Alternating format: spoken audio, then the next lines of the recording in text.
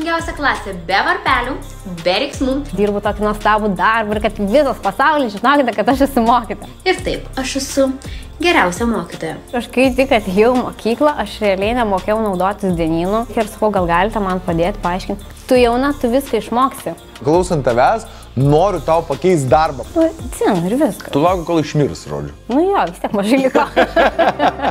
Pirmoji klasė atsimenu mamytę, kuri nekentė manęs. Tiesiai šviesiai jinai po spaudos, aš jos nekenčiu. Kai Instagram'e įsikėlė foto su vyru, kurioje tu tik tai su maudymusi kostiumėliu ir iš karto pasipylė komentarai. Mokytojai taip nepridara elgtis. Labai graži seksuali nuotrauka. Aš esu moteris visų pirma, o paskui aš mokytoja.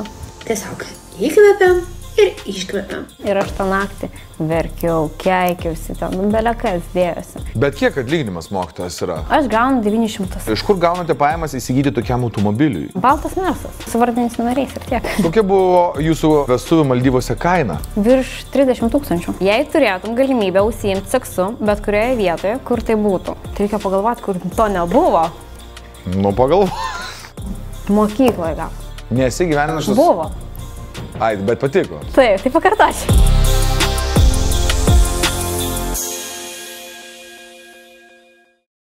Bet Safe Casino. Lošimo automatai, kortų lošimai, ruletė. Dalyvavimas azartiniuose lošimuose gali sukelti priklausomybę. Nepatogius klausimus pristato Švyturys. Tai, ką sugebame geriausiai. Gilomirtol Forte palengvina sinusito ir bronchito simptomus. Prašom įdėmiai perskaityti pakuotės lapelį ir vaistą vartoti kaip nurodyta. Netinkamai vartojamas vaistas gali pakengti jūsų sveikatai. Kokiais atvejais pakelia atlyginimą, pavyzdžiui, jeigu šiaip. Tai jau kai keliesi kažkokią Jo kvalifikaciją. kategorija, kai pasikeli, Kokia pas ta kategorija? paprasta mokytoja. O ką reikia pasikelti sunku? Daug papiriukų reikia surinkti ir manęs nepraleido, dėl, dėl to, kad man kai kurių papiriukų trūko ir pavaduota manęs labai nemėgo. Prie visko kabinėjasi. Sako, tau dar šito papiriuko trūksta, tai dar tau vis seminarų laik, ten dar kažką. klausyk, bet va kaip sunku tokiam kolektyvui dirbti? Kaip tu, va, pavyzdžiui, pas, nu, menedžinį šitą dalyką? Nu, bet ignoras visiškai. Ta prasme, yra tokių kolegų, kur aš einu nei labo dieną, nei viso gero. O taip, va, praeina, kaip manęs nėra. O nesinori kažkur išeiti tada? Ne, visiškai. Nes Tu- yra labai gera klasė. Specialiai, ne? Ai, tu dėl vaikų. Jo, ir tėvai labai gerai. Nu, visi, pavyzdžiui, strikuoja, niekas neina dabar į mokyklą. Neini į mokyklą. Ne, 24 vaikai neina dėl to, kad palaiko mane, streikuojančią mokytoją. O tu streikuoji dėl ko? Dėl to, kad, na, nu, aš dėl geresnės ateities mokytojų streikuoju. Nes šiaip man tai, okei, okay, aš turiu papildomą darbą, aš gerai uždirbu ir man kaip hobis yra šitas darbas. Bet, nu, vis tiek nesinori, kad tie mokyti pensinio amžiaus jau vyresnės mokytojas, nu, jiems yra sunku. O kai ateina jaunimas, irgi jiems yra blogai, mažai moka. Bet suprantate, dėl to mes iš tikrųjų kalbamės. Nes aš jau nuo praeitų metų e, esu tokią stipendiją buvau padaręs jaunai, e, besi, kaip čia, ban- bandančiai dirbti ir besimokančiai mokytai. Nes ten kažkaip, jeigu tu dirbi, mokslam nebėra daugiau jau, e, negali, negali gauti jokios stipendijos tipo arba lengvatų. Nu, žodžiu, sudėtinga. Ir tokius video visokius ten darėm apie mokytojus, žinai, kviečiam stoti į uni- univerą e, pedagoginį, nes tipo yra labai didelis niuansas, kad mokytojai nebe, niekas nebenori būti mokytojai. Visiškai. Jo. O jeigu kažkas eina, tai iš tikrųjų milžiniško pašaukimo, kur sutikau tokį mokytoją, kuris kažkokia miestelį mažą, man atrodo, fiziką dėsto, žinai, ir jo vos ten visą gyvenimą svajonė pakeisti pasaulį, bet suprato, kad jis vienas to nepadarys. Ir jisai, jo, žinai, per, mok, per mokinius, ane? Ar tu atsimeni, dėl ko tu e, tapai mokytoja? Taip, tai aš jau žinau, būdama pradinukė, aš jau žinau, kad būsiu mokytoja. Pradinukė? Taip, jau kokia trečia, ketvirta klasė, žinau, kad aš būsiu mokytoja ir ne kitaip. O kodėl? Kas čia aš labai žavėjausi savo pradinių klasių mokytoją ir mes vienoje mokykloje netgi dirbome ir dabar jinai dirbo kartu su manim. Jinai nu, man buvo labai didelis pavyzdys, jinai labai mylėjo vaikus, jinai mokėjo juos mokyti, išaiškinti. Nu, man jinai buvo wow. Ir aš norėjau būti tokia kaip jinai. Ir tapau. Daug tavo klasiokų tokių buvo, klausyk, ar čia tu tik tai vienintelė tokia, kur užsikūrė? Taip? Nu, aš gal įsikūriau ir aš kiekvienais metais ją sveikinau su gimtadieniu. Vat man gegužės 18 yra jos gimtadienis ir vat po šį dieną sveikinu ją. Man Tokia meilė. Tai jinai toks autoritetas tau didelis. ar ne? Labai, labai. Kaip Ir- jinai dabar klausyk, su tavim sutarė gerai? Labai gerai, tai mes ir susiskambinam, aš sakau, mokyti, sako, kokia aš tau mokytoja, aš Julija, aš Julija, viskas, pamiršau, nu negaliu, jis man mokytoja. Jo. Labai kietai. O tavo ir tai tikslas buvo tą, tą mokyklą patekti būtent dėl jos? Ne, ne, ne visai kitoje mokykloje dirbo, aš čia čia prisikviečiau pas save, sakau, ateikit. Nu, fainai, kad atvarai, žinok, man labai e, malonu iš tikrųjų ir su taim susipažinti, nes aš tai Instagrame e, tai matau, tik to, aš neturiu, bet žinau, kad tave, taip čia kaip sako, mokytai, tik to, žvaigždė. Šiaip aš sakyčiau, šiaip socialinių tinklų žvaigždė, gal žinai, ar žinomesnis žmogus, e, to puikiai, puikiai sekasi tą tvarkytis, aš kaip suprantu. E, papasakok, prašau man, žinai, aš būnu, sanatina aktoriai, ten dar kažkokie muzikantai, dar kažkas, tai Ir jie savo sferos į socialinius tinklus neperkelia. Nors čia yra toks nemokama reklama, edukacija, tu ten ką nori gali daryti, jie susivaržo kažkodėl. Nors aktoriam, atrodo, turėtų būti mega lengva. Mokytoja irgi nedažnas atvejis, kad pamatysi. Ir tu, manau, viena esi iš pirmųjų gal to. Taip, taip, tai aš Ar kaip... pirmiausia, pirmutinė? Kaip, Nu, gali būti. kaip viskas prasidėjo? Tai prasidėjo nuo to, kad aš jau, kaip ir minėjau, jau nuo pat pradinių žinau, kad aš Jo. būsiu mokytoja ir ne kitaip. Ir jau būdama ketvirtam kursė, aš nusprendžiau, kad man reikia susikurti kažkokią grupę. Dėl to, kad tie skelbimai.lt atrodė, nu, jau nesąmonė, atgyventa. Ir aš turiu kažkaip pasakyti, kad aš esu mokytoja, kad aš dirbu tokį nuostabų darbą ir kad visas pasaulis žinokite, kad aš esu mokytoja. Tai susikūriau Facebook'e grupę Mokytoja Veronika ir ten pradėjau visokius patarimus kelti ir paskui po... iš karto pradėjai filmuoti. Ne, aš iš karto pradėjau Tiesiog- pirmą postinti mhm. per visus tenais Facebook grupės, kad aš esu čia mokyta, galiu padėti vaikams. Ir man draugai rašo, nu Veronika, tu užknisai su savo skelbimais, nu tai kiek galima čia tau. Ir aš vis tiek postinau. O kodėl taip sakė? Ką aš užknisai su... Nu, nes vis mano postas, kad aš mokau Ai, vaikus, okei. mokau vaikus ir kiek čia galima, aš kiekvieną vakarą, 8 val. vakarą buvau kažkaip taip įsiskaičiavus, kad nu vis tiek vakare grįžta Taip. žmogus, sėdi, ten skrolina kažką ir tik 8 val. ir mano skelbimai eina, eina, eina. eina. Tu, tu marketingo direktorė klausyk, esi gera irgi, ne? Nu, man tai atrodė, kad tai bus geriausia, kad taip, visi išgirstų. Nu, ir tada prasidėjo mokyti Veronika. Nu, ir tai po truputį, po truputį, tada streikas. Aš viską pradėjau filmuoti, rodyti, kas vyksta. Streikas buvo pats pirmas, kai mokytojai streikavo Okei. 2018 Aha, metais. gerai. O paskui tik tai buvo karantinas ir tada tie maldyvai prasidėjo. Ir... Ir važiuojam. Taip, ir važiuojam toliau. Pasileido nuo kalnelio. Klausyk, tu, kaž, žinai, kaip man kažkodėl mokytojas asociuojasi, kad kasdieną susiduria su iššūkiais. Žinai, ne, daugybė žmonių su tai susiduria, bet mokytojas yra tas, kuris susiduria su dar ir ne tik savo iššūkiais, žinai, bet dar ir visą laiką jaunimas, ten, su savo klausimais, su savo Taip. energijom, su savo elgesiais ir panašiai. Man atrodo, kad čia yra vienas sunkiausių darbų šiaip apskritai, žinai. Kaip e, tau, ar tu tą savo, tavo, tavo svajonę, žinai, tu ten e, nuo mažens norėjai būti mokytoja, tada, žinai, įstojai pedagoginę ar ne, ir baigiai, jis pradedi dirbti mokytoja, ar ne, ne, nebuvo momentas, kai kažkada griūna ar lūšta svajonė ir atrodo, kad ne viskas šitaip rožiniam spalvom gražiai dengta. Ne, aš gal tas, tos žiedlapius pati kūriau, dariau ir man nebuvo tokio, kad aš nenoriu dirbti mokytoją. Aš kiekvieną mielą Ne dieną. tai, kad nenori dirbti mokytoja, žinai, kaip tipo, blemonė, taip čia taip ir faina. Ne, man visą laiką buvo Ar ne? faina, visada. Okei. Bet kai aš dar studijavau ir dirbau Hesburgerį, va tada man buvo žiauriai ne faina. Aš galvoju, ir vėl, ir vėl aš turėjau tą darbą. O dabar jau aštunti metai aš kaifuoju. O nebuvo, kad Hesburger tu daugiau uždirbai? Ne, dabar Ne? mokytoja. Daugiau uždirbu. Bet kiek atlyginimas mokytojas yra? Aš gaunu 900. Taip jau rankas. Taip, taip. Bet čia mažokai, aš sakyčiau. Čia labai mažai. Čia labai mažai. Taip švelniai aš čia pasakiau, ne? Jo. Bet aš dirbu papildomai. Mhm. Ir, Ir iš to, ne, nu visi dirbam po 5-6 darbus, kad kažkas. nu, bet man patinka. Labai. Tam, kad tu galėtum tą uh, pagrindinį darbą dirbti. Bet uh, klausyk, uh, kaip tu galvoji, kiek teoriškai turėtų gauti mokytis? Kaip tu galvoji, o taip, jeigu pasižiūrėt sąžiningai, ko, kokia turėtų būti vidutinė mokytojo alga? Nu bent jau vienas penki. Pusantro tūkstančio Taip. turėtų būti. Taip. Aš ir sutinku, logiška. Nu čia tas startas turėtų būti. Įmanoma to pasiekti, kaip tu galvoji? Faktas, kad įmanoma. Ko reikia tam? Tai, kad reikia, pagalvojus išsiaiškinti. kad finansus įskirstytų. Teisingiau. Taip. o- Mažiau šoviniam, daugiau mokytam. Ne, nu, šauniams reikia. Bet, nu, kad būtų lygiai, po lygiai, gražiai suskirstyta. Ne tik mokytojams, bet ir gydytojams, ir gaisrininkams. O ne, vienam daugiau, kitam mažiau, iš vieno atimsiu, kitam duosiu. O ar turi slaptą formulę, kurios pagalba galėtum užhipnotizuoti savo partnerį? Geriausia formulė, mano mėgstamiausia kūno dulksna afrodizija. Jos papurkšus galima drąsiai sakyti, kad bus išpildyti visi jūsų norai. Nenustok žaisti fantazijos LT. Erniukas klausia tavęs, ar per vaikų susirinkimus daugiau ateina tevelių ar mamyčių? Tai aš jau nebedarau susirinkimų tokių gyvų. Taip. Dėl to, kad mes per nuotolį susiskambinam, aš visą informaciją pateikiu ir viskas. Bet ateidavo ir mamyčių ir tevelių. Šiuolaikiškai viskas. Taip. Ar būna, kad per mokinių ar, e, arba tevelių susirinkimus su jumis flirtuoja ir kabina teveliai? Dėja nebuvo. Dėja. Dėja. Nu kaip visi ten sako, o čia ta mokyta tokia graži, tai jau tikrai ten teveliai eina. Ne, nei vieno nebuvo. Nerimauja teveliai, pergyvenu. Pliam, iš per gražiai. Mamytės labai saugo. Ai, ne? Mamytė šunuolas, teisingai. Pa, nes šiaigi pagrindinis pavojus, taigi tuoj paims ir nukabins jūsų vyrą. duok mokytoją. tai Dieve, Nu. tai va geras Ką mamytės. neturi ką veikti, ne? Gerai, Benas klausė, kokie yra e, mokiniai šiandieną jūsų akimis?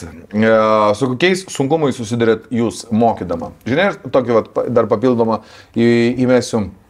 Aš atsimenu, pasakoju man pradinių ir vyresnių klasių mokytojos, ar ne, kad tarkim labai trū, e, susiduria su problema, kaip motivuoti reikia šio laikinio jaunimo, pavyzdžiui. Ne, vaikai ateina, jiems sako, vaikai išmoksim daugybos lentelę. O jie sako, kam? Mes turim vis skaičiavkį ten, žinai.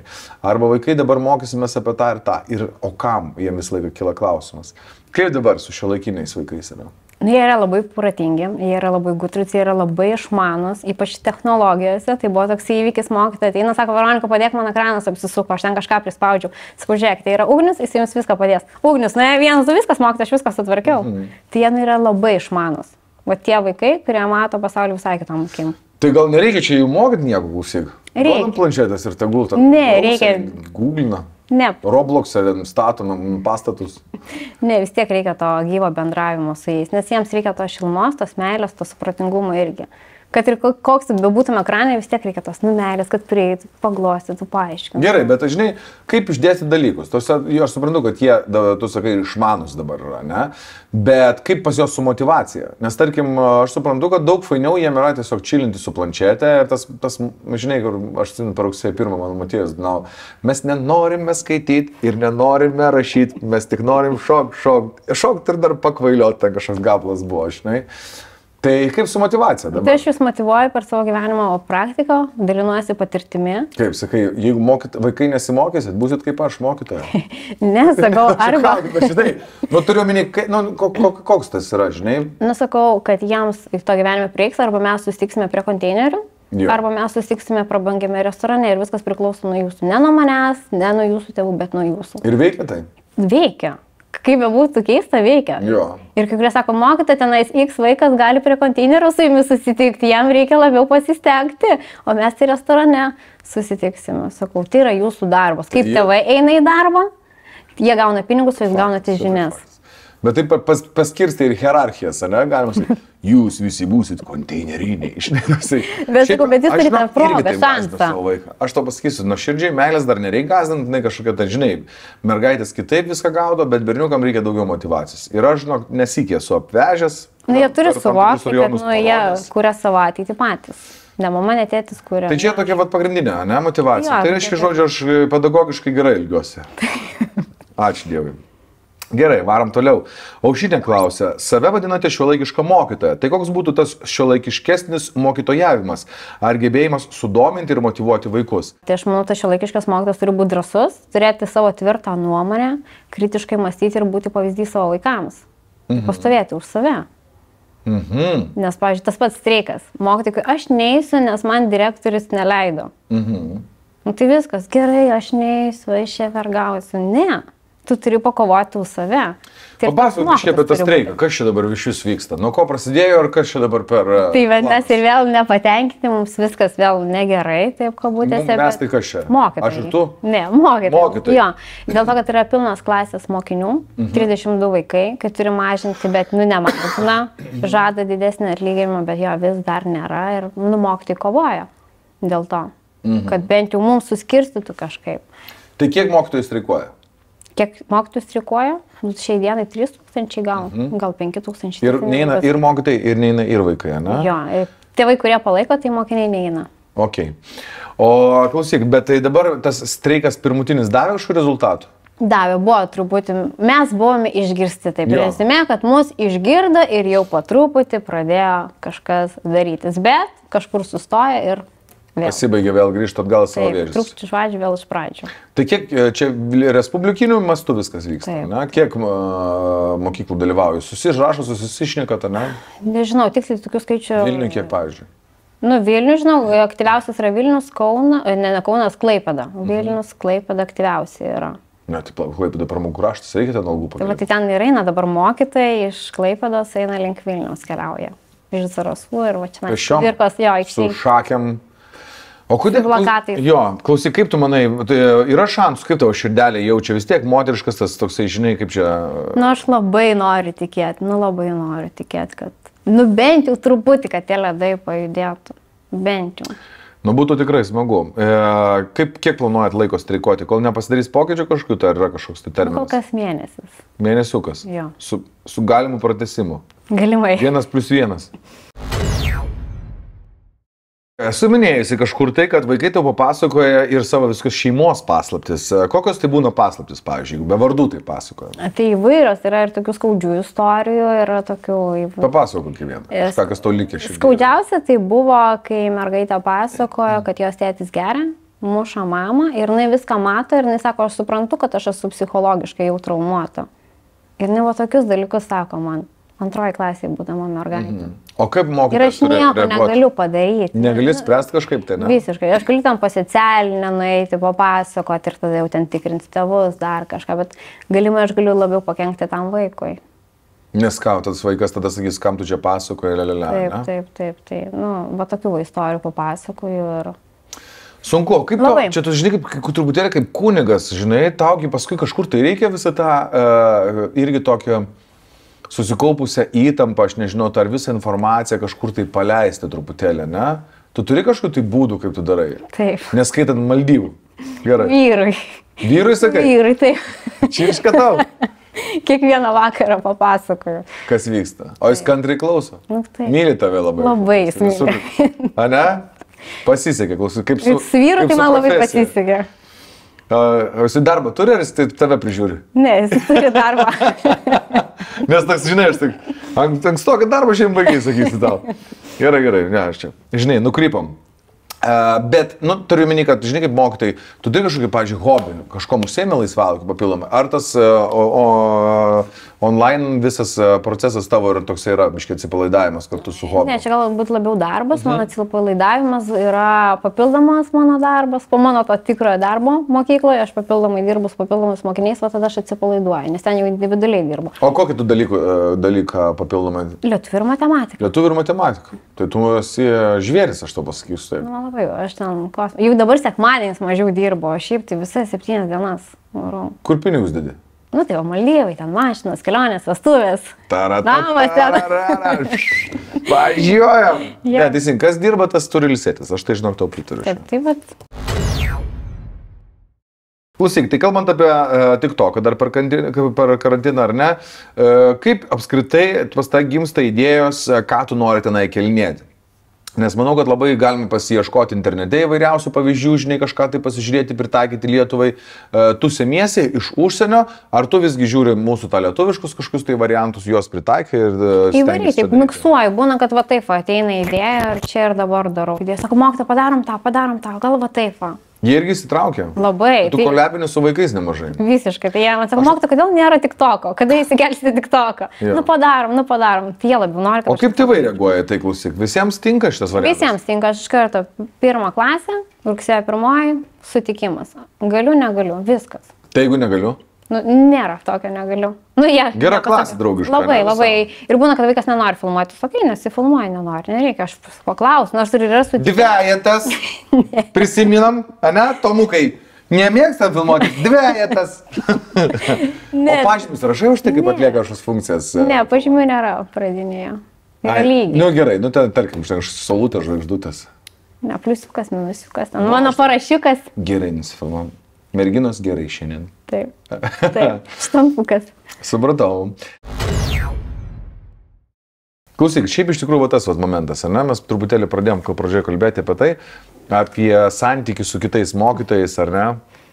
Ir apie apskritai tą tokią, žinai, pažiūrėk, kitų atsakai, o tai aš einu ten, tipo, ten, ar galiu ten nepastebėti, ar dar kažką. Aš atsimenu, kažkaip dirbau kažkokį darbą, kur jeigu man nepatinka kolektyvas ir žmonės, aš sa- save viduj pradedu n- nemylėti savęs viduj, galvoju, kam aš čia kankinuosi, dėl ko, vardan kokios dalies. Tipo, kad čia algą gauti, kad čia kažkas kolegos laimingi bus, kad aš gerus projektus padarysiu, tavo atveju ten vaikai bus laimingi, žinai. Bet tau viduj tai kažkas sukelia vis tiek diskomfortą. Nu, ne, aš specialiai, nu tai gerai, aš Ane? tau patinku specialiai, tai tu žiūrėk mane. kaip tu praeini, praeini? Tai paini taip ir mokyti. Ne, aš tiesiog, einu. Ne, aš tiesiog einu ir va taip, nereaguoju. Hardcore Visiškai. vadinamas. Tai būna net valdžia nesisveikina su manimi iki to momento, vat, gali eiti, vat, mato, mato ir vat, nesisveikina. Labą dieną, jau kai jau prie padino, taip labą dieną. Taip, Tai tu net ir su valdžia taip nelabai, aš suprantu. nelabai, nelabai yra tokių. Kaip virkštėlį turi būti. Ne, nepatinku, galbūt dėl to, kad drąsiai viską sakau, aiškinu ir noriu taip, kaip aš noriu, o ne taip, kaip jie nori. Bet kitas nėra perpirkus kokiu nors va, va, privati mokykla. Aš nenoriu ten eiti. Kodėl? Nu, nenoriu, dėl to, kad ten visai yra kita sistema, man teko dirbti e, padėjėję ir ten Jo. kosmosas, ten tiek daug dalykų nežino ta pati valdžia, kad man baisu. Ko, pavyzdžiui, nežinom. Nu, pavyzdžiui, vaikas paima kėdę ir metai mokytoją ir mokytojas sako, net rodo video, va, nieko mes negalime padaryti dėl to, kad jo yra tėvai, advokatai, viskas, trink lauk.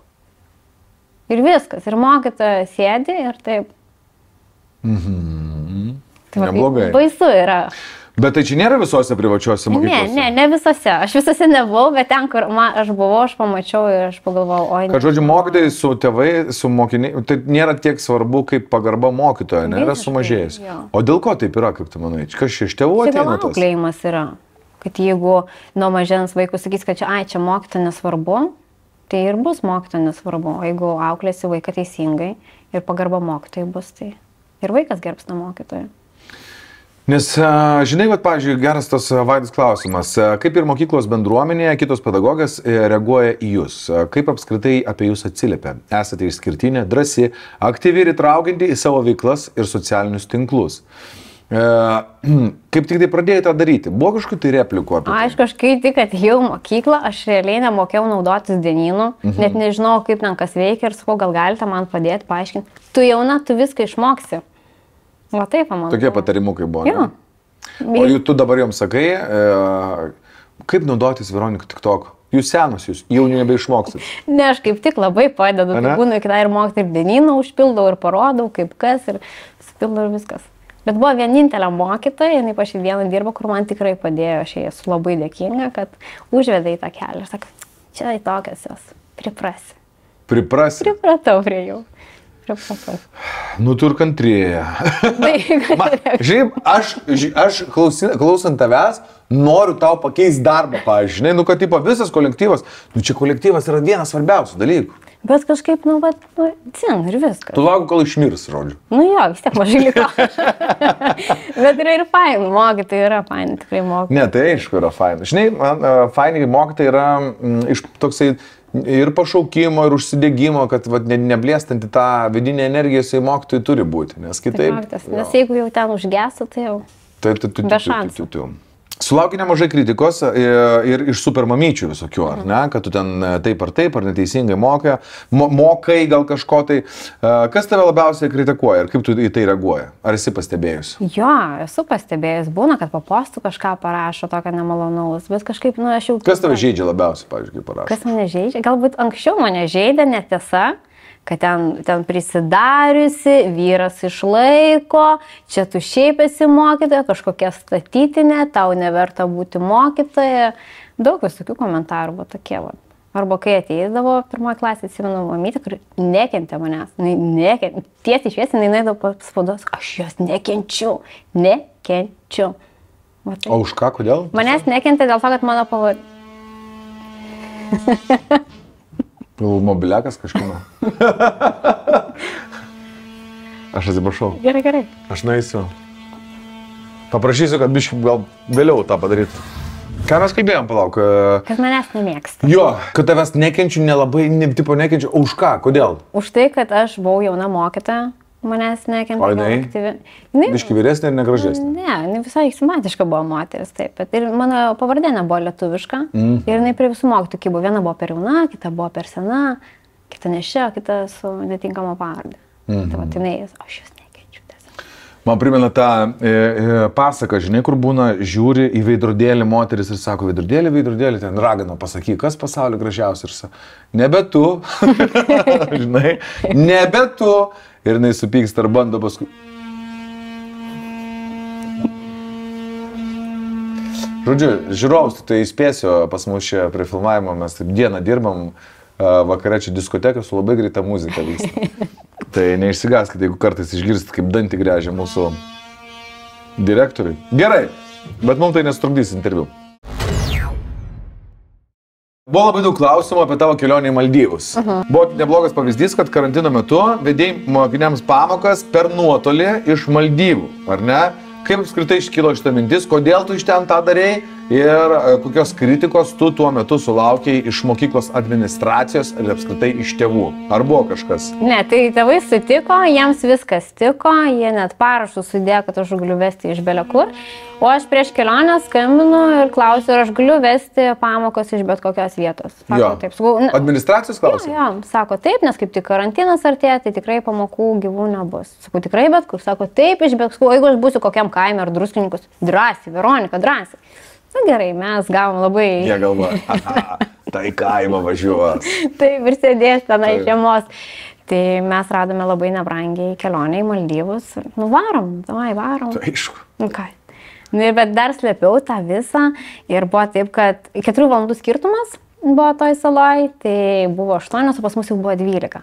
Tai aš užsidėdavau mėgstinį, nes tada norėjau mano pamokas stebėti pavaduoti, užsidėjau mėgstinį, sėdžiu su mėgstiniu karštą, vedu tą pamoką. Nu kiek kažkaip O kur tu slėp, slėpdavaisi prie sienos? Kambarį, kambarį, jo, sėdėjau. Ir ką, tipo, būdama, būdama Maldyvose, nekėlė jokios medžiagos, nieko, tipo? Ne, aš stengiausi susilaikyti, bet mano vyras ir jo draugai įkėlė ir ten įsikė, įsikė, na. ir- Ir pasirodo, mokytoja, tinklinuką. Eva, Hebra, davai. Dažnai kaip manęs, einu pamokėlės pravesiu. Davai, Hebra, kok, man vieną mokyto, toj būsiu. Taip, tai taip ir buvo panašiai. O kiek pamokos, po kiek penkias ar ilgiau reikėjo? Okay. Ne, tai ten trumpiau vis tiek, ten kokias dvi pamokas pravedi ir viskas, kad nebūtų tų visų penkių pamokų. Taip. Tai taip, tai ir pamatė, sužinojo ir Tai aš Tada supratau. skambinu, kur tu esi, atvyk į darbą. O kaip tik mūsų mokykloje nebuvo tos sutarties, kad per pusantros valandos tu turi atvykti į darbą, jeigu tave iškviečia. Tai po mano įvykio susitvarkė dokumentus. Va, Tai- taip. Taip, va, tai tokia šiandien Ant tiek popierka. tavęs nemėgsta. Taip. Dės, koks jiems skirtumas yra, kur tu esi? Nu, va, Maldyvai, vienas žodis tikriausiai. Taip. Supranti? Aš matau, kaip jos mokyti kambarį. Supranti? Mes čia sėdim, žinai, o jinai Maldyvose. Nu, šildosi savo. Šildosi. Buvo, buvo. Oi, Bet smagiai patirti. Maladėts, gerai tu darai. Aš tau pasakysiu, daužykės. A, buvo dar vienas pavyzdys, kai Instagram įsikėlė foto su vyru, kurioje tu tik tai su maudymusi kostiumėliu. Ir iš karto pasipylė komentarai, kaip šitaip įmanoma, kodėl mokytojai, e, nepri, ne, mokytojai taip nepridėra elgtis. Kaip reagavai tada iš tos įsikomentarai? Man labai patiko. Labai. Aš taip suprantu, kad dabar suprantu tavo. Aš- Iš ko tu gyvenime ne? Žiūri, taip. Mhm. Tai aš tenais nenoga. Ten nieko man nekyšo ir aš esu graži seksuali moteris. Nu, ten nieko nėra. Nei lašinių kažkokių, nei papas. Jo, Okei. neišvirtė nieko. Labai graži seksuali nuotrauka. Aš esu moteris visų pirma, o paskui aš mokytoja. Eilinį kartą, eilinį kartą užkliudžiau supermamytės. Eilinį kartą man yra taikomi dvigubi standartai, nes aš esu mokytoja. Ir neduok tu dievę, mokytoja įdės nuotraukos su maudimuku. Viskas, viskas, pasaulio pabaiga bus. Tiesiog įkvepiam ir iškvepiam ir žiūrim toliau. Nu, aš kaip suprantu, tu gyveni savo normalų, tiesiog standartišką žmogaus gyvenimą ir tu nebandai čia dabar, žinai, savo kažkaip tai gyvenimo bandyti nusodinti dėl to, kad tu turi kažkokį tai, tai valstybinį, sakykime, darbą, ar ne? Ne, visiškai kažkaip. Nu. O koks tavo požiūris apskritai, kad kodėl yra toks iš viso susidėliojęs kultas ir kažkokia priespauda, kad mokytojas negali būti laisvesnis ne, kaip, kaip visi kiti, pavyzdžiui? Čia gal iš tų caro Rūriko laikų atėjo, kad mes turim būti suvaržyti, nieko nerodyti, negalima, kaip čia taip tu dabar parodysi, viskas tu esi ne žmogus, tu nemokyta, nes mokyta turi būti su sijonu ilgu, dar su kailiniais kokiais ir viskas. Tėvai sako, į Maldyvus gal kailinius reikėjo man nusidėti, gal tada visiems patiktų. Tai tu žodžiu su tėvelis, kaip suprantu, jie tavo pusė, ar ne? Mano, jo. Nes vaikai, e, o vaikai progresuoja, pažangus, tai to, ko labiausiai reikia tikriausiai jiems. Taip. Nu, jie, vat mokosi tikrai, va šitie ketvirtokai yra, nu, tiesiog dabar yra toksai laikas, kai aš galiu atsipalaiduoti, kai jau patys viską žino, yra savarankiški. O kada vat, yra tas e, toks breikas nedidelis? Mano moties dabar trečiokas yra, tai aš girdėjau pastabas iš mokytojų, kad jau, jau lengviau jiems e, susikoncentruoti, atidumas atsirado didesnis, žinai, noras darbuotis ir panašiai. Tai ketvirtoji klasė, kaip suprantu, jau tas yra pikas šito. Jo, čia jeigu mokite labai gerai padirbėjo, tai ketvirtoji klasė negali koją už kojas uždėti. ir viskas. Dabar darykit taip. Dabar jūs jo, jau viskas. Tai tu tos tris metus e, reis stipriai. Jo. ne? Nuo pirmos klasės griežtai. Ir mokytoja turi laikyti savo žodžio. Tai jie dabar žino, kad mokytoja pasakė, taip ir bus. Nebus. Pavyzdžiui, kas yra buvę tokio, kad aš... Buvo mes e, nuo pirmos klasės turim laikytis tvarkos, Mhm. jeigu einam į valgyklą, tai tyliai, ramiai, gražiai, tvarkingai. Mhm. Ir eisim tol, kol jie nueis gražiai. Ir buvo mes vieną kartą, nu, prašneka kažkas, grįžtam atgal. Ir jie netikėjo, kad jie grįž atgal. Mhm. Ir buvo galbūt tas momentas, kai mes jau sėdėjom beveik valgyklą ir vienas berniukas, "Vau!" Ir jie visi jį pasižiūri, grįžtam atgal į klasę. Ir jie tada grįžo ir tada jau po to karto viskas. Ir dabar ekskursijose jokių problemų, jie gražiai, tyliai išklauso viską. Nes jeigu pra, pra, prakalbės, Taip, jie 16 grįš. kartų ekskursiją tą pačią važiuosim, ne? Grįšim atgal. tai va, aš, pažiūrėjau, yra ekskursija tokia neskausminga, kaip aš vadinu, į kino teatrą. Pinigus sumoki vietą ir viskas, ir tu bet kada gali grįžti. Tai su pirmą laidą mes ir grįžome. Rimtai? Taip. Nu, kad būtų pamoka, kad jie žinotų, kad nebūtų, ai, nu gerai, tai čia nieko tokio. Nu, ne. Ir viskas. O kokiu dar klausyk reikia, e, jėmiesi griežtesnių kažkokių auklėjimo formų yra? Ir antskiai sakiniai. Pavyzdžiui, Jie turi rašyti sakinius, jeigu ten kalba trukdo. Pradėjom nuo kaip dešimties. Bartas Simpsonas šitas, Taip, taip, taip, okay. taip, taip, va. Tai berniukas vienas parašė 350 sakinių. Ko tokio? pavyzdžiui? Pamokos metu gražiai sėdėsiu, pamokos metu gražiai sėdėsiu. Kiek laiko jis užtruko? Nu, per porą dienų parašė. Per porą dienų. Jo. Ir, Ir? turi gražiai rašyti. Nu, ir dabar idealus vaikas. Ir gražiai rašo, ir tvarkingai sėdi. Reikėjo biščiuko praktikos. Taip. Gerai, architektos Tomas. Maldyvų, Maldyvų reikalas praėjo prie, e, prisidėjo prie jūsų žinomumų. Tačiau kaip asmeniškai jūs tai paveikė? Ar padėjo, ar buvo neigiamo kažkokio efekto, ar įtakojo jūsų asmeninį gyvenimą? Taip, įtakojo. Kaip? Mes Maldyvose padarėme stuves. O. Ai, tai čia buvo ne šiaip toksai užvažiavimas, ar ne? Jūs ten Ne, mes tiesiog nuvažiavome pirmą kartą. Na, nu, aš pirmą kartą buvau viena kažkada su draugais nuvažiavęs, tada antrą kartą su vyru, trečią kartą su vyru nuvažiavau ir susitokiau. Ne, antrą kartą su, jau su vaikinu, ta prasme, ne, trečią kartą. jau grįžai su vyru. Išvažiavai su vaikinu, grįžai su vyru. Taip. Klausyk, tai čia tokia, o bet čia gal labiau, žinai, klausia apie tą tokį niuansą, kad uh, buvai, gal taip čia taip pasakyti, užpulta ar kažką, kad čia kažkaip blogo darai. Ne, kažkaip. Nu, Nepasikeitė, grįžus, taip, tarkim, į mokyklą, nebuvo tokių, nu, tai kaip ten tie Maldyvai klausimų. Ne, bet kai patį pirmą kartą važiavau, galvoju, kad aš ateinu į darbą ir sakau, žiūrėkite, aš turėsiu kelionę vasario mėnesį, prašau mane išleiskite. Tai buvo patys pirmieji mano, mano metai, sako, jo, gerai, Veronika, mes tave išleisime. O buvo tokių mokytojų, kur tiesiog atostogų neišleido vasario mėnesį ir sako, kodėl ją išleidot, o mūsų neišleidot. Mhm. Tai buvo tokių pretenzijų. O kodėl? Nežinau. Nepaaiškinau. Ne, nes aš iš karto Tai gal negali visos mokytis vienu metu išeiti, Nu toks gal. paaiškinimas. Logiškas. O kodėl tu tai patinka Maldyvai, klausyk? Nu, man ten labai gražu, aš ten galėčiau gyventi. Mo, būt mokytoja galėtum? Galėčiau. Tikrai galėčiau. O nu, ten jiem reikėtų, man tai jau žinok. Yra ten mokykla. ten- Ne? Jo valstybiniai saloje yra. Pas- Teko apsilankyti.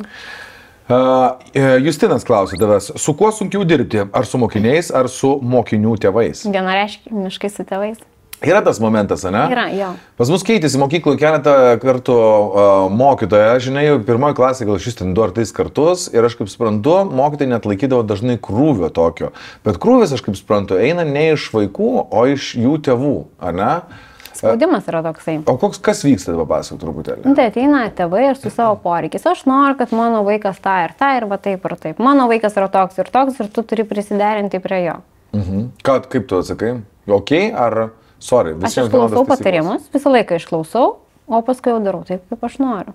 Svarbiausia yra išklausyti. Mhm. O paskui aš pritaikysiu, ar ne čia yra mano reikalas. Mhm. Arba buvo pirma laida, atsimenu, aš nepatikau, sakau, duris yra ten, viskas. Nepatinku, galite išeiti. Mhm. Griežtai. Nu, taip, o ką čia? Kam čia atsiskintis? Nu, už 900 neapsimoka, aš irgi manau. Kaip vertinate, apskritai čia klausė Edinas, kaip vertinate mokinių krūvį dabartinėje švietimo sistemoje? Mano sunus uh, mokinasi Skandinavijoje ir ten mokykla neužduoda apskričiai jokių namų darbų. Ten sako, kad vaikai po mokyklos turi orientuotis į borelius ir vaikystės malonumus, o mokslai tik mokykloje. Ar palaikote tokį požiūrį? Taip, tai aišku, didelis krūvis yra iš tikrųjų tos programos, yra ganėtinai sunkios vaikams. Ir buvau vieną video padaręs, kad rekomenduoju, kad vaikas ateidamas į pirmą klasę mokėtų skaityti. Dėl to, kad kokios yra užduotis, nu tikrai labai reikėtų, kad vaikas skaitytų. Mhm. Ir ten mane vėl jau įsipuolė, kaip čia taip, patimkime iš vaikų vaikystę ir taip toliau. Bet kai tu padirbi, tu pamatai. Tu esi paruošęs netgi tam tikrą sistemą, aš kaip suprantu, skaitimo, ne? Tu atsinešiai kažką, tai papasakok, kas yra. Tai čia yra skaitimo kortelės, čia yra pirma dalis. Taip. Čia yra instrukcija, kaip jomis naudotis, yra žodis, tada e, iš pirmo pasakai raidės, vėliau garsus, juos sujungi ir gaunasi žodis. Mhm. Tai esmė yra pasakyti garsais, tada vaikas išgirsta ir jam yra žymiai lengviau. Mhm. Ir yra... Čia tavo sistema šitą yra? Jo, nu aš sukūriau šitas skaitimo korteles ir taikau savo darbę. Tai O. man labai pasiteisinusi. Rimtai? Parodyk. Labai. Nu, pabandom. Išpakuok. Pažiūrėsim, ar aš moku skaityti, nes nelabai moku, šiaip faktas yra vienas. Tai dabar pabandysim. Padėk tau pastačius, žinau. O. O, žiūrėjau. Gerai, ir ten yra kažkokia antra dalis, ne, perėsim. Nu. Ai, tai mes matau, mes turim tokios. A ne? Tu rašai mano žmoną, ar ne? Aš rašiau, aš paklausiau, kokią dalį turite ir jinai mane atrašė. A, ok, gal pažiūrėk, būna mašinai paskaitė. Bet 99 procentai, kad mes turim šitas korteles. Nu va. Tai jau mokai skaityti, reiškia. Bet mokinas, jinai tai šitos, šitos žodžius perskaito. Neperskaito knygelį, jeigu yra. Tai va, tai... Nu, žiūrim. Pirmą reikia... Aiškinama sistema. Ola, ne, parašyta? Jo. Mhm. Iš pirmo mes išvardinam raidės, Tai, pavyzdžiui, O, L. L, A. mhm. tada mes išvardinam garsus O, L, A Mhm. ir juos jungiam O, L, A. Aha. Ir tada garsiai Ola. Aha, va taip, ok. Ir tą kitoj pusėje galima spalvinti. Parodyk, parodyk, parodyk. Ir tada nuspalvinti galima šitą, o, o kad, ai, Jo. tipo, nupiešti, Jo, pavyzdžiui. ir galima ištrinti, nes šios yra laminuotos. Ir visi klausia, taigi čia neįlaminuotos, bet čia yra popierinis laminavimas. Ir čia, tipo, tarkim, varlė, ar ne? O čia geltonai, tai dėl ko? Čia pradžia ir paskui pabaiga. Ai, supratau, kad, tipo, pakyla intonacija ir nusileidžia, ne, pavyzdžiui? Čia, jo, tai čia va, pirma. V, R, L, E, tipo. Tai va. Varlė. Varlė. Ok, yra visur žiūrėk. Kaip vizitkė. Mokytoja Veronika. Gerai, o antras lygis tada kas ten yra? E, Čia jau yra tekstai, vienoje, vieto, vienoje pusėje yra suskemenuoti, kitoje nesuskemenuoti, tai čia yra pažengusiems vaikučiams. O vienoje pusėje suskemenuoti. A, ir šitą turim. Rimtai? Taip. Nu, va. Taip. Tai, tai čia antras lygis ir įvairios užduotėlės. Palam, pasižiūrės. Uh, nu ir kaip perka? Perka. Gerai? Labai. Tai dėl to ir atsirado šopas. Tai čia skaitimas, skaitimas skėmenimis tiesiog, Jo. ne? Mane gali, uh, galima atpažinti. Ai, žiūrėk, ir čia gali dar suvedžioti Taip, šitos, o taip. kitoj pusėje. Ten suskaičiuoti bežanėlės. 1, 2, 3, toliau bus 4, o paskui ir čia visas, visas tai Jo, jo, ir ten svarbiausia yra tokias mažlytės, ten irgi reikia suskaičiuoti. Ai, van, supinio, ne? Taip. Jėzus Marija, nu blembaškai, gerai. Tai dar vienas yra tenais, kur girtumo testas, visi sako. Blaivumo testas. Va šitą labai smagiai. Nusišypsok. Parodyk man šitą kortelę, parodyk šitą kortelę žmogui, kurio šypseną nori pamatyti. Taip? Taip. Bam. Taip, iš karto geriau. Ir va šitą kortelę. Pasodink pupą. Gerai.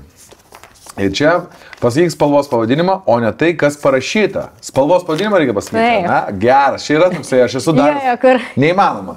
Žalia, fioletinė, mėlyna, raudona, geltona, e, pilka, juoda, oro oranžinė. Padariau teisingai ar ne? Ar atvirkščiai kaip reikėjo? Gerai. Mėlyna, geltona, pilka, juoda, žalia, oranžinė, balta, raudona. Gerai. Taip. Reiškia, dirba smegenys. Taip, taip, taip. Aišku. Aiškugi. Tai va. Ašgi gudresnis už penktoką. Už pradinuką tikrai. Nu, aš pradinuk. Nu, kaip kitai. Ačiū labai. Padirbėsim šiandien su meilė mes šito klausimu ir padarysim testą jaunimui.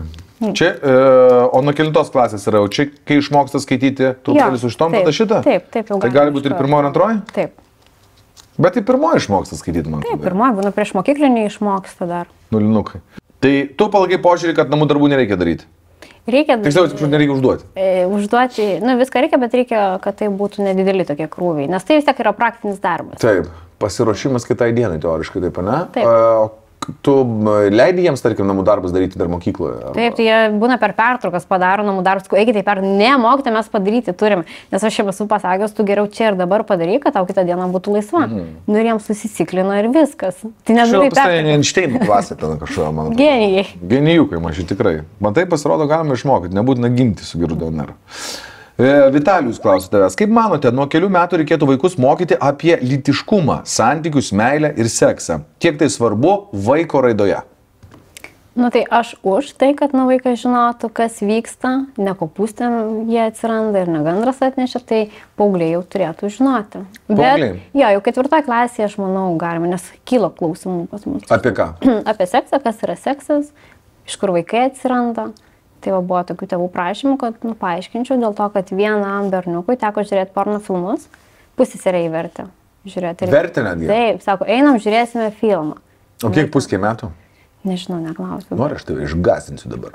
tai va, tai, nu, vaikai turi Ne, aš žinoti, tai už vyksta. lytiškumas yra labai svarbu, Ly- e, švietimas yra beprotiškai svarbus dalykas, ypatingai dabar tu visuomeniai, kai yra toksai, žinai, mes viską darom tik tai negyvai ir per socialinius tinklus ir tas toksai a, ryšys nebeiškus, man atrodo, žinai, kaip čia aš toks gal senamadiškas esu, kažkas pavadins, bet man Atrodo, kad e, daugumoje atveju berniukai nebežino, kaip teisingai reikia, e, gal taip, merginti, kalbinti, žinai, merginas, kad jos ne tik tai jaustųsi, kad e, gauna dėmesio, bet ir saugiai tuo pačiu, žinai, kad tai nebūtų kažkoks tai šlikštus, arogantiškas toksai kažkaip pasiūlymų rinkinys, žinai, mhm. o tai būtų kažkoks tai... Mon- Gražiai, subtiliai. Nu, toksai, žinai, kur uh, žmogus pa, pa, patinka vienas kitam. Tai va, ta, tame yra labai didelė praraja, man atrodo, ne? Taip. Ir kas jį turi užpildyti dabar? Tai turi užpildyti kažkas tai papildomas darbuotojas mokykloje, ar tai turi pa- pats mokytas padaryti tų vaikų? Nu, kad mokytojas susipažintų, kad jam būtų medžiaga duota, nes vis tiek mokytojas nėra profesionalas. Arba ateitų profesionalai, kurie žino, kurie moka, kurie gali išdėstyti. Nes žinai, mes, aš važinėdavau per mokyklas anksčiau labai daug. Ypatingai, kai mes būdom tokią radistų laidą turėjom, žinai, mus kviesdavo ir pagroti, ir, tenai, ir, ir pakalbėti, papasakoti savo tokią motivacinę sėkmės istoriją, galų gale, kaip mes ten, kaip atsirado, kaip mes ten pradėjom kažką darbuotis. Ir mes nuvažiuodam į tolimiausius miestus. Į tolimiausias pamirštas kažkokias mokyklas, pamirštas, aš vadinu to pras- ta prasme, kad e, mes ateinam, e, socialiniai darbuotojai nenori su mumis bendrauti, prisikviečia dažniausiai vaikai, mokytojai sako, mes čia ne prie ko, žinai, jie Darykit patys, jo, bando nusimesti atsakomybę, mes tai čia jūsų nekvietėm, čia vaikai, bet mes galim parodyti, kur aktų salė duot raktą. Susirenka vaikai, mes kalbam, skamba e, ten skambutis, vaikai nejuda iš vietos, nes jiems įdomu, jie nori toliau kalbėtis. Ir mes, žinai, būna, būna jie paruošia arbatos, ten e, sausainių kažką, tai mes sėdim toliau šnekamės. Mokytojas jau dėkoja, kaip gerai, kaip atvažiavot, kaip fain. A, ne, galvoju. A, ne. Na, bet mes vis tiek kažkaip, aš taip, žinai, su mokytais mažiau, ne, ne juos ten, e, kaip čia motivuoti mums reikia, su mokiniais. Ir aš klausiu, nu kaip sekasi panašiai. Ir ten buvo viena jauna labai mergina, kuri prasimokius mokykloje buvo ir dabar dirba uh, socialinė darbuotoja ar, ar pavaduotoja, aš neatsimenu tiksliai. Bet kažkas iš tų, kas gali organizuoti. Ir jis sako, pas mus per 20 metų į mokyklą buvo atvažiavę du žmonės. Vieną kartą, sako, atvažiavo kunigas kažkoks, papasakot kažką tik pažinai apie Dievą. Ir antrą kartą buvo atvažiavęs kažkoks tai lytinio švietimo bičias, kuris tiesiog, sako, prezervatyvų padalino. Va tiek, sako, aš atsimenu apie tai. Žinai, ir aš manau, atrodo, kad tai yra belenkoks gepas. Nes prezikų padalinti, žinai, Bet tai kas gali. bet, bet kurį parduotuvę. Bet paaiškinti, ką su jais daryti ir kai parsineš juos namo, tėvai sakys, ką tu čia, kad tu galėtum ir tėvam paaiškinti, ką, Taip, ka, kas, žinai, kam tu čia ruošiesi, ar ką čia turi. Tai tas švietimas tikrai aš už, kad būtų. Tai kur čia yra vat, gepas, klausyk? Tai žiūrėk, susisakai, e, kad pa- pamokų kie- kiekis didžiulis, e, lygis sudėtingas, žinai, bet mat- jie kalą matieka, o gyvenimiškų įgūdžių nelabai. Nu, labai mažai, bet arba per klasės valandėlę turi pasakoti. Bet čia savo ruoštų. Pasiruošti, papasakoti, arba kažkokia problema iškyla ir tada kalbėti apie tą problemą. Nes Klausyk, o tu negalvoji, kad e, vat, gal tau reikia tai būtų žmogų, kuris eis tenai viršų ir darys pokyčius? Nu, gal dar ne. Gal Kodėl? reikėtų man pasitobulinti. Komandos to reikia, ko čia reikia? Reikėtų ir komandos reikėtų, ir įgūdžių reikėtų. Tai vad reikia apdarbą. Bet planuose? Nu visai, galbūt tarimuose. Tai kažkadagi buvau švietimo ministrė, laikinai, su Photoshopinu, gi ten irgi buvo skandalas. Kaip čia taip. Čia tu fotos su Photoshop'in ar kažkas padėjo? Jo, padėjo man, draugas. Geras bairis buvo. Labai. Sukėlė daug, ne? Taip, ir vėl. Intrigėlė tokia. Nu supratau, tai tu skandaliukų neprivengi. Ne. Nei viduje, nei išorėje. Ir aš jas traukiau. Mhm. Nu gerai, būtum, tu tokia, žinai, dabar aš tai matau kaip tokia uh, tarp mokytojų žvaigždė blogiukė. Mokytojų, žinai, mokytojų rock, ro, uh, rock'n'roll mokytoja tokia, žinai, kur būna. Tokia ale gera, bet bloga. Klausyk, buvo kilęs skandalas, e, kai pasipylė tėvų liūdėjimai, kad vaikams pasakoja netiesą apie tragiškus sausio 13 įvykius. Ištrauka iš straipsnio. A, Pamokos metu mokytoja Veronika e, pradinių klasių mokiniams aiškino, kad 91 metų sausio 13 dieną įvykius Vilniaus televizijos bokšto metu į lietuvius šaudė ne sovietų kariai, o lietuviai apsimetę rusais, e, tie, kuriems sumokėjo. Taip, tai buvo toks įvykis dėl tos pačios mamos, jinai vis kibo, kibo prie Mhm. manęs. Ir atsimenu, tai buvo pirmok ir mes tiesiog kalbėjome, kad reikia pagerbti, mes uždegėm žvakutę, pagerbėm laisvės gynėjus ir tiesiog diskutavome, kad mes turime džiaugtis ir didžiuotis, kad tokie žmonės buvo ir ėjo drąsiai užkovojo už laisvę. Mhm. Ir paskui šitas straipsnis išėjo, nors po tos pamokos niekas nieko man nesakė, kai aš tik pradėjau strikuoti, kai aš pradėjau būti žinomesnė, jinai Facebook grupėje kažką parašė ir tada anonimų net nebuvo ir aš mačiau, kad jinai parašė ir tas straipsnis išėjo toksai. Mhm. Tai, tai teoriškai ką, jinai primelavo? Taip. Ir aš nu nesakiau. E, Nes Aidas klausė, tai e, pasakykite, prašau, kas per istorinę sausio 13-osios naktį taikėsi ir šaudė į beginklius lietuvius? Tai rusai. O kodėl nekišo tave po tanku, kaip tu galvoji? Nu, dėl to, kad dėl mano tos pavardės nelietuviškos. Ir jinai man vis sakė, kaip tu gali dirbti mokytas tokia pavardė. Ir va, jinai po šiai dienai, aš vis pastebiu, kad jinai pakomentuoja ir va, bando įgelti. Bet, nu, va, jai vis nepavyksta kažkaip. Va. Bet tu pavardė tokia, kaip čia, latiniška, ar, ru, ar rusiška čia? Rusiška gal. Naumova? Jo. E, egoistas rašo, tai e, kaip dėl to Krymo, kam jis priklauso? Mokytoja? Ukrainai. O kodėl čia iš viso yra? Nežinau, šitą aš irgi nežinau. Gal aš niekur nepasireiškiau, bet man, kas vyksta Ukrainai, labai gaila, man baisu. Moky vyras būna parodo, kai kuris sakau, nerodyk, man baisu, aš negaliu žiūrėti. O ką jis Man rodo? Kai šaudosi? Jo, sako, pažiūrėk, va čia, ar matei, va tas, va kas vyksta. Sakau, nero- Man baisu, man realiai yra baisu. Aš, man, prot, man protas neišneša, kad taip gali vykti. Mm. Nenoriu net galvoti apie tai. Baisu. Klausyk, dažnas e, dabar pokalbis Lietuvoje apskritai yra apie menkas mokytojų algas, ar ne? Ir slaptas kaliošas, klausiu tavęs, kokios jūsų mėnesinės pajamos? Klausyk, tai teoriškai tu dabar e, dasidėjus kažkokių papirėlių lapelių, ten e, pasikėlus kvalifikaciją, jeigu jau ten eitum keliais ir ten varytum maks, kiek tu daugiausiai gali Nu, uždirbti? vienas, trys kokius, manau. Atsiprašau labai. Nieko. Vienas, trys. 1300 yra maksimali mokytojo alga, ar ne? Nu, gal direktorių ten daugiau gauna, bet mokytojai. Kiek yra direktorius alga, pavyzdžiui? Kiek aš žiūrėjau, vienas septynis man. 1700 direktorius alga. Preliminariai. Plus bonusai. Slapti. E, Gerai, e, šiandien kai filmuoja mokytojo alga ir atlyginimai e, toks eina likti kaip ir didinimo principu, į didinimo, kaip tu galvoji, kiek, kiek pakelt gali, pa- par padidins? nu, gal iki tūkstančio eurų. Būtų kietai, jeigu 100 eurų pakeltų, ar ne? Nu, neblogai, bet. Pakeistų kažkiek tai čia gyvenimą. Nu, nepakeistų, bet jau būtų geriau. Progresas kažkur kitur būtų gal jau, jau kaip čia, jau jutimiškesnis, ar ne? Nu, truputį jau vis tiek tas tūkstantis ir psichologiškai. Nu jo, kad kažkas keičiasi. Jo. Nes ką mane klausė, iš kur gaunate pajamas įsigyti tokiam automobiliui? Mokytojos algo, algos abejoju ir užtenka. Gal kažką dirbate papildomai? Taip, taip. Nu, dabar mokytojai pats laikas pasakyti, kad stripaką jūs e, prižiūrit. Taip, taip, taip, taip. Taip? Taip, Aš taip. sakiau. Taip, prižiūriu. Po pamokų iš karto važiuoju antrą darbą. Gerai, tai kiek valandų papildų, kiek jūs valandų per dieną dirbat, pavyzdžiui? Jeigu... 8 iki 8 dirbu. Taip, va, jeigu žiūrint, ne? Po mokyklos aš grįžtu namo ir dirbu korepetitorė. Laimingas vyras dėl to. Dievs. Bliam, nuo kelių metų tu jau užsiauginus. A, nieks netrukdo. Normaliai, ten nesilka, teisingai. Bliam, aš šiaip blogai nepagalvojau. Gali ten pramogauti šitas veiklų prisigalvoti. Žinai, ten tipo tenisą, golfą, bi- biliardą, futbolą, ten Tai aš grįžtu namo, jis išvažiuoja. Į sporto salę, ten dar. Pasitūsina gerai, tai teisingai. Klausyk, nu, na, bet aš ne, aš jokiuosi sakau, tu taip išsiaukliai kaip, kaip mokinius mokė auklėtis, tai tau čia tai buvo, kaip čia pirmasis mokinys. Taip ir geriausia. Jo, į restoraną, jeigu einam, tyliai į restoraną einam. Ne? Jeigu prakalbėsi, apsisukam ir iš naujo. Taip. Darai jo kažkokius triukus, kurių išmoksti pedagoginius tokius sakau, su mokiniais. Buvo, buvo. A, ne? Jo, Pasakyk kokį, pritaikiau. Buvo, ten kažką Yra važiavau. kažkokius nežino, pavyzdžiui, du- pa- išduok. Nu, Nu tai aš ten testuoju kartais. nu, nu pa, pa, pavyzdžiui, pasakyk. Tai dabar taip, tokių neprisiminsiu, bet būna patestuoju. Arba, pažiūrėjau, jis skrolina ir aš kažką ten pasakoju, pasakoju, pasakoju, sakau, pakarto, ką aš sakiau. Ir ką, ką sakai? Nenorėčiau iš mokytojas išgirsti. Kaip su mokiniais, ne? Jeigu šneka, Veronika, taigi aš negaliu. pakartok, aš sakiau. Ir būna Veronika, taigi aš negaliu dviejų, dviejų darbų vienu metu daryti. Nu, aš nemoku kitaip kaip tu. Vyrui, kad jisai kažką išgirstų, tris kartus reikia pasakyti. Aš žinau šitą statistiką. Jeigu tikrai, tikrai kažko reikia ir kažko nori arba įsimintų, tris kartus turi pasakyti. Arba kartoti, vis kartoti, Nu. kartoti ir kartoti. Ir tada išgirsta. Kartojimas mo- mokslo motina. Taip.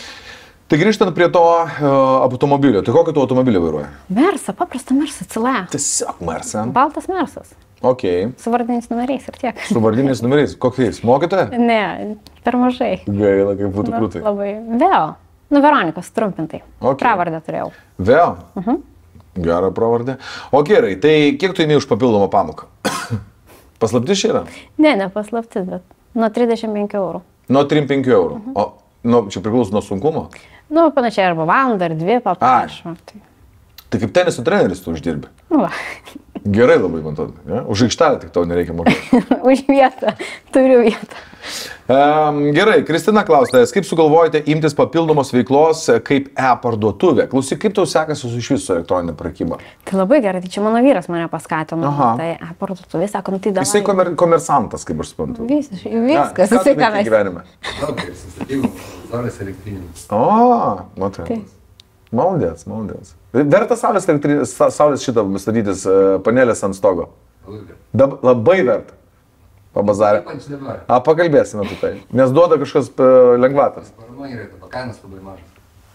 Gerai, kad atėjo dvies. ok, pakalbėsim apie tai. E, Tai e, klausyk, negalvoji, kad kažkada gali būti taip, kad e-prekyba tavo per mėnesį nedaro jau didesnio pelno negu tavo alga e, mo- mokytojas. Aš nežinau iš tikrųjų, kiek mes ten uždirbam. Reikia pas mano vyrą klausti, aš tiesiog. Na, jeigu į Maldyvus užtenka nuvažiuoti, tai gal neblogai. Gerai uždirba tas šopas? Gerai, gerai. Gerai. Daugiau už jos algą? Tiek, kiek- įdedam darbą, tai labai gerai.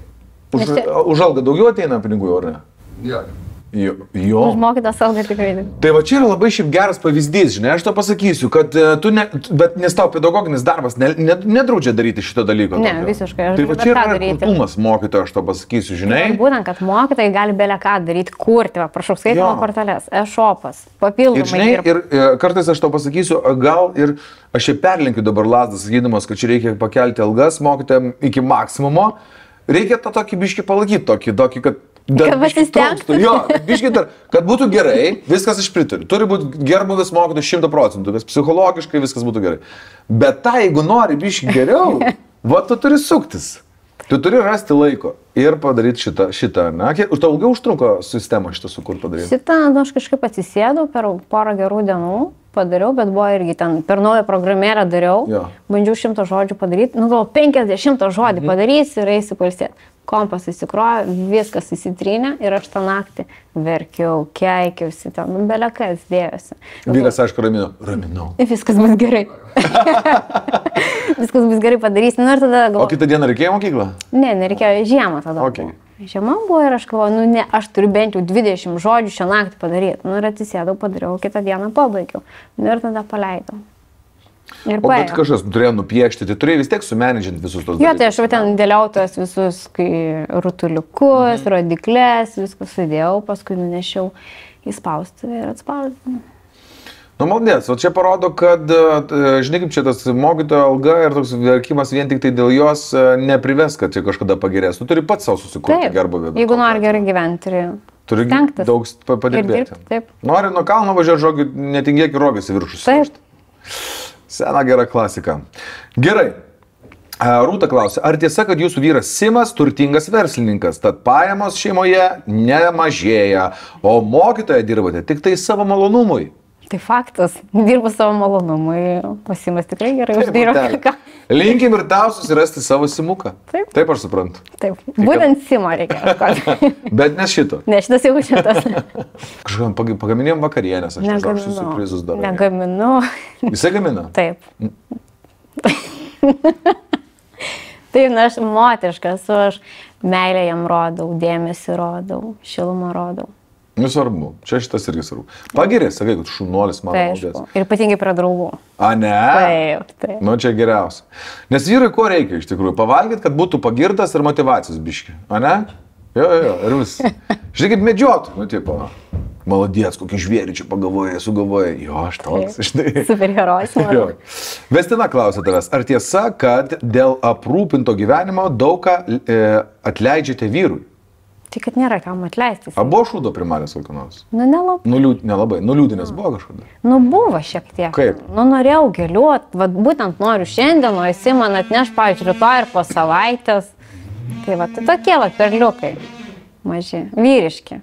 Nu, čia labai toks jau, jau nėra ko pri- Nu, kai prisikabinti. neturi prie ko, jau turi Jo, kažką. Valgytis pradėjai. Uh, Neseniai susimu susitokėt Maldyvose, kiek jau laiko praėjo? Pusę- Daugiau negu pusę metų. Pusę metų jau, ne? Uh, papasakok apie vestuvę šiek tiek. Svajonių vestuvės tai buvo. Taip. Aš labai norėjau Maldyvose. Įspūdinga buvo, klausyk, ar sunku buvo susiplanuoti tą dalyką, ar čia Nu, toks paketėlis? Sunku, buvo, nes komunikacija buvo tokia sausau. Simas iš viso, kad čia bus nesąmonė, čia nieko nepaisakau, nesimai tikrai bus gerai. Ir liko labai patenkintas. Ir, na, aš irgi, tai buvo pati tobuliausia diena. Lietuvoje mes tokių vestuvių nebūtume padarę. Nes kas, ten, oras, maistelis. Oras, maistas, tiek daug buvo maisto, vaizdai. Kad, nu, kosmosas. O daug jūs ten važiavo, keliesi? 23, man atrodo. 23 žmonės. O tai kaip dabar, tai jūs už visus mokėjote ar jie Ne, mes už tėvus, brolius, seserį sumokėjom, už fotografą, už visą žystę sumokėjom. Viskas. O visi kiti jau savo lėšomis. Draugelį atvarė, ne? Jo, pasitūsint. A, kokia buvo jūsų va- vestuvių Maldyvose kaina? Klausia va, Vavėlė. Virš 30 tūkstančių. Virš 30 tūkstančių.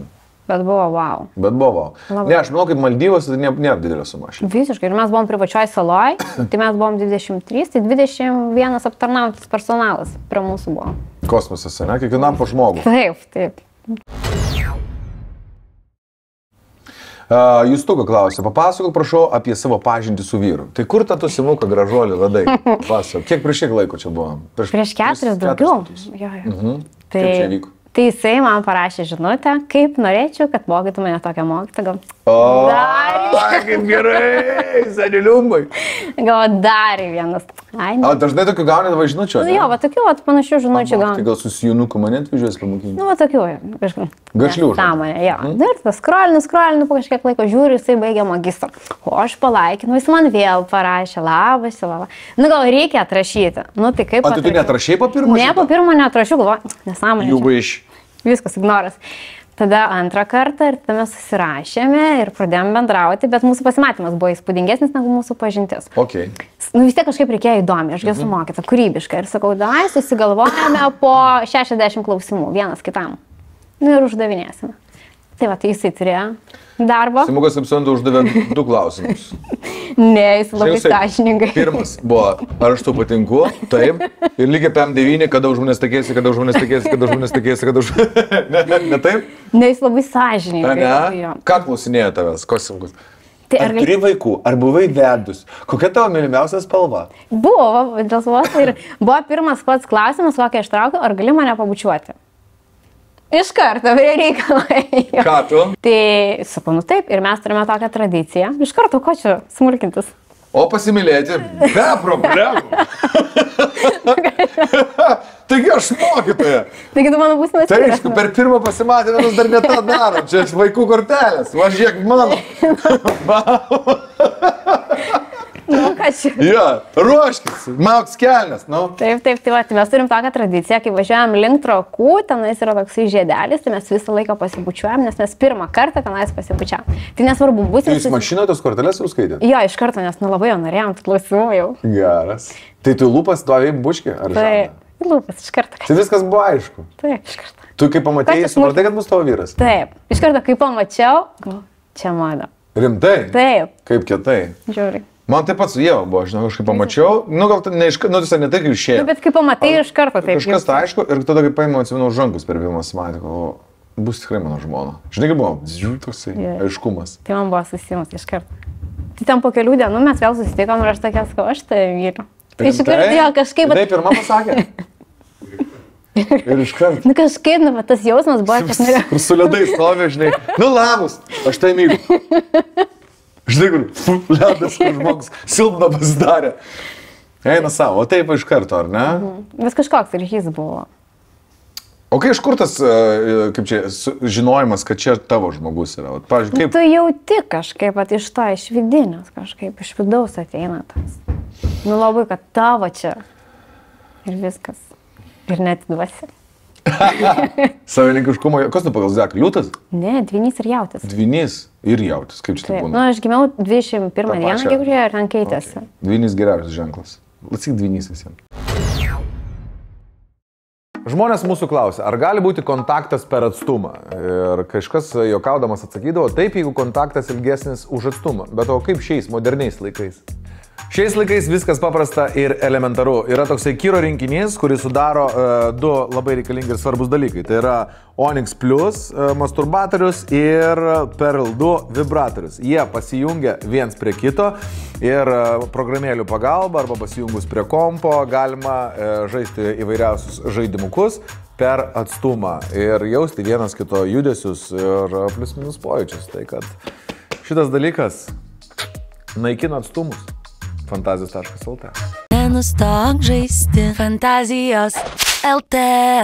Ar taip mylėdama visus, savo, visus aplinkinius vaikus, norėtum susilaukti savųjų?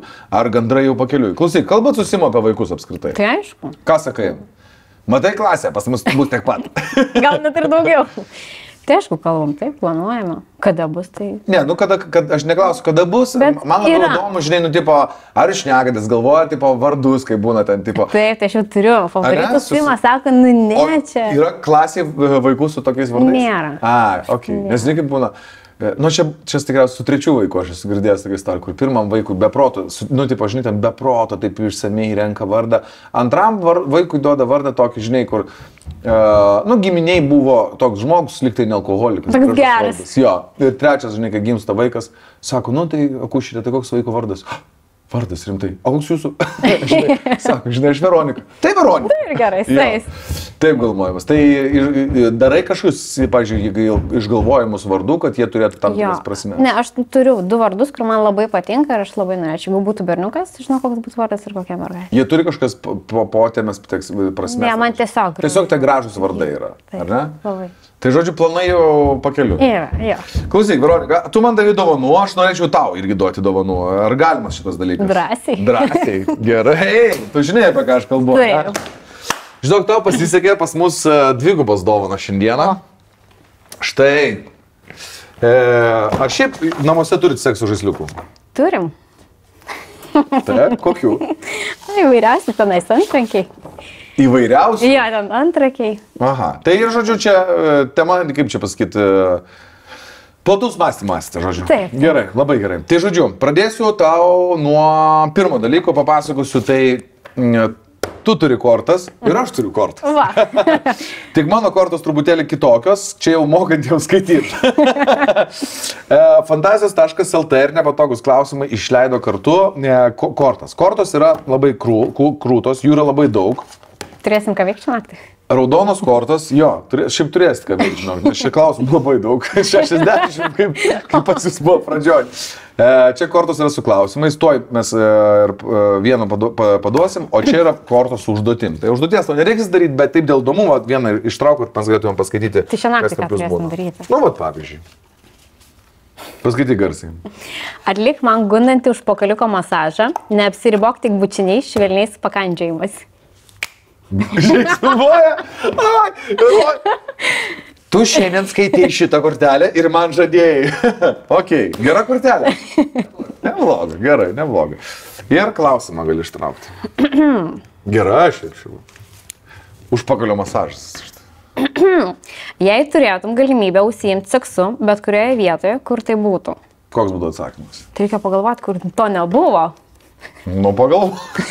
Prezidentūrai. Ne, žinai, kaip tipo, e, gal yra tokia vat, vieta, kur nuo lėktuvė esi darius seksą. Ne. Kur norėtum, kad būtų? O, net nežinau, tiek daug buvo visur, tai sunku pasakyti. Reikia pagalvoti iš tikrųjų. Tai, žodžiu, kai mes vaikštom mieste, tai kaip suprasti, Gali būti jūs... kavinė. Jo, mažiau prie visko, jūs mažiau lieskite čia visur. Maža ką. jo. Net neįsivaizduoju. Nu, gerai, bet žiūrėk, nu, tipo, kažkur gamtoj kopose, nežinau, kosmoniai mažinai, tigro narve, nu, Mokykloje gal. nu mokykloje. Aha. Nesi gyvenęs šitas. Buvo. Ai, bet patiko. Taip, tai pakartosiu. Liavo, tau kažkur mokykla, tau viskas su mokykla. Reikia pritempti profesinę lygačią. Nu, geras. Ir Advento kalendorius. E, mėgstat kalėdas? Taip. Periodas toksai būna kalėdinis gražus. Čia yra 24 dienų džiaugsmo Advento kalendorius, kuris vadinasi Nenustok žaisti. Žiūrėk, čia yra, e, čia yra 8 sekso žaisliukai, 5 suvaržymo dalykėliai visokie, intimios kosmetikos visokie lubrikantų ir panašiai, masažinio aliejukų, e, aksesuarai, kaip yra tokios kortelės su visokiais pažadais, aš to parodysiu, to ir intimus masažas, rinkiniai, žiūrėk, atsidaro taip gražiai. O, Jo, ir va taip atsidaro. Bam. iš karto imčiau šitą. 21? Aha. Davai, pažiūrim, tavo skaičius čia? Taip.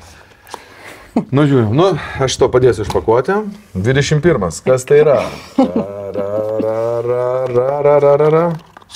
Kremukas. Taip, aha.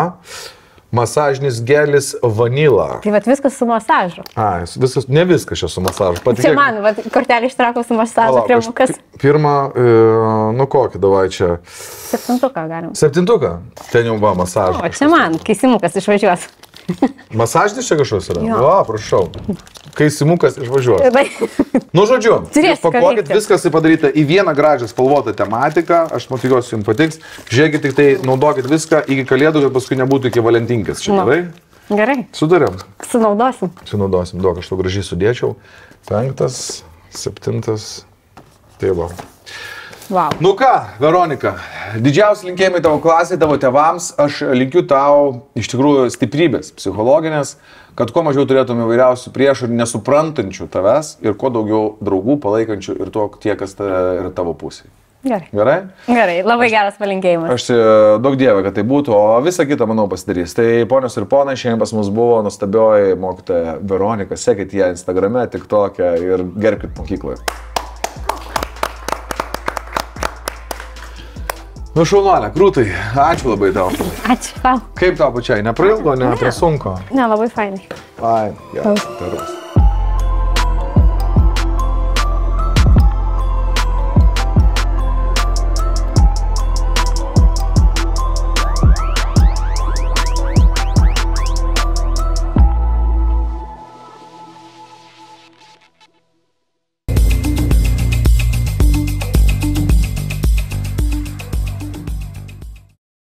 Gerai. Bet Safe Casino. Lošimo automatai, kortų lošimai, ruletė. Dalyvavimas azartiniuose lošimuose gali sukelti priklausomybę. Nepatogius klausimus pristato Švyturys. Tai, ką sugebame geriausiai. Gelomirtol forte palengvina sinusito ir bronchito simptomus. Prašome įdėmiai perskaityti pakuotės lapelį ir vaistą vartoti kaip nurodyta. Netinkamai vartojamas vaistas gali pakengti jūsų sveikatai.